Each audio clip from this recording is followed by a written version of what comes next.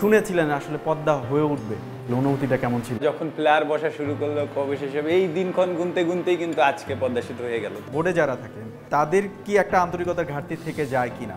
আমাকে যদি সরাই দেওয়া হয় তার টেস্ট আমাকে একটু জানাইতে। তো সেটাও কিন্তু আমাকে জানানো হয়নি। যখনই বলেছে যে ওকে কথা বলে বাদ দিয়েছি তখন কিন্তু আমি স্টেপ আপ করেছি। না this is wrong you are liar BCB সভাপতি হতে চান? হ্যাঁ ডিরেক্টলি এভাবে বলা আসলে আমার পক্ষে সম্ভব না। মাসি ভাই জুসটা কেমন? দারুণ। রাসেল ডোমিঙ্গো হেড কোচ আপনাকে কফি খাওয়ার জন্য বলেছিলেন। কফি কি খেয়েছিলেন? বাসায় খেয়েছি। কোন বাসায়? আমার বাসায় গেছি